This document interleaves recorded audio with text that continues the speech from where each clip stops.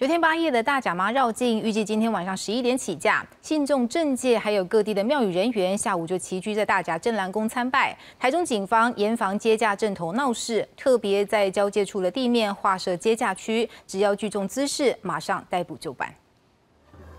双手高举，恭迎妈祖的看板，开心拍照留念。大甲镇南宫妈祖绕境进香，五号晚间十一点即将起驾。下午庙里庙外都挤满准备随驾的信众。郭小姐已经参与绕境十年，今年也不想错过。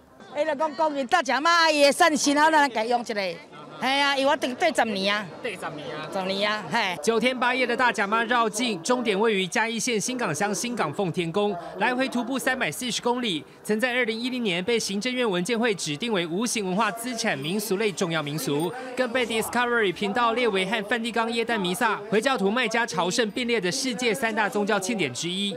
庙方下午开始接待政界人物与各地庙宇参拜，强调妈祖不分党派，属于大家的。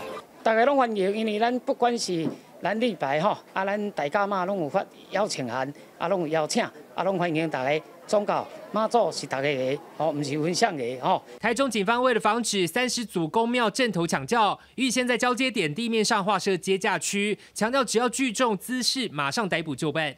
将接驾的位置地点逐一划设交界的位置，并且约制各成年的人员在。接下期间不要聚众滋事，否则将依法就办。大甲妈绕境五号起驾，依序住驾彰化市南窑宫、西罗镇福兴宫、新港乡奉天宫、北斗镇殿安宫、彰化市天后宫与清水区朝兴宫，预计十四号回銮镇南宫。记者杨明凤龙涛台中报道。